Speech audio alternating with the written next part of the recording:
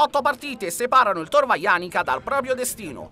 La squadra di Mister Salotti, nella prima, di fronte ai propri sostenitori, affronta la Res Blue 92. Alle 11 spaccate il signor Mansella dà il via alla prima frazione di gioco. Tredicesimo minuto, calcio di punizione per gli ospiti battuto da Iannarilli.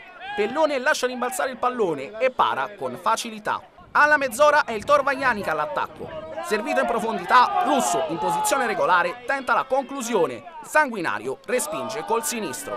Occasioni contate sino allo scadere, fin quando da centrocampo De Cristofaro osserva un assist perfetto per Russo, ma l'attaccante, seppur in ottima posizione, non ci arriva, sciupando così un'occasione ghiotta. Tre minuti più tardi, calcio di punizione per gli ospiti.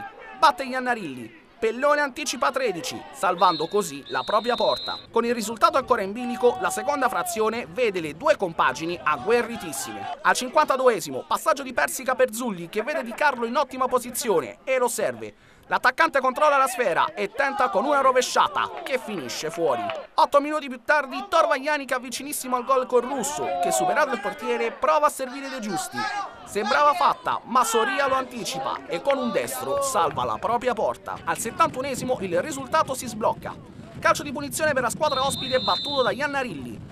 Pellone sbaglia nella parata e l'attaccante della Res Blue 92 sigla così la rete del vantaggio. In pieno recupero lancia in profondità per Di Carlo, che superando in velocità Galasso recupera la sfera servendo Capezzuoli. L'attaccante, dopo aver superato in furbizia Ossia, con un destro team nel cartellino.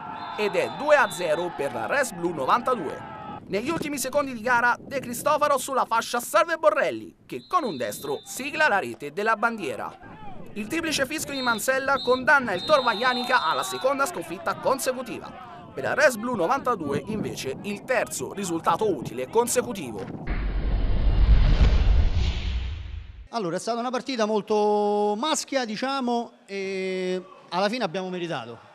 Però comunque loro sono una buona squadra. Il problema che ci abbiamo avuto penso che è stato subito che si è fatto male di Giulio a inizio secondo tempo, l'abbiamo dovuto sostituire, purtroppo in panchina tutti quelli che c'erano era solo per far numero e non c'erano altri cambi. Abbiamo provato, la squadra penso che non ha giocato come solito gioca in casa.